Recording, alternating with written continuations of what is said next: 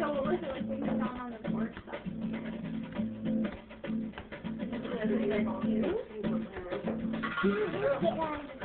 Really? My little cat. That's pretty cool.